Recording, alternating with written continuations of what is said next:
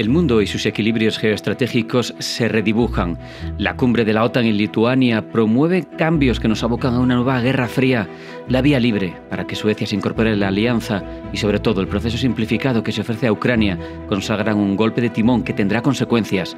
Supone la confirmación de que Occidente engañó a la Unión Soviética para que se disolviera, prometiéndole que nunca llevaría la OTAN hasta sus fronteras. Como es lógico, está empujando a Moscú a elevar la beligerancia de su tono, pero sobre todo a buscar apoyos internacionales. Xi Jinping habla de nueva era y de asociación estratégica integral con Rusia y hasta India, que juega dos bandas, reúne a las potencias orientales en la Organización de Cooperación de Shanghái. No sé si es buena idea que Estados Unidos siga subiendo la apuesta de guerra en Ucrania, ahora ofreciendo bombas de racimo inmorales y prohibidas por 100 países, apoyándose en que Rusia las usa.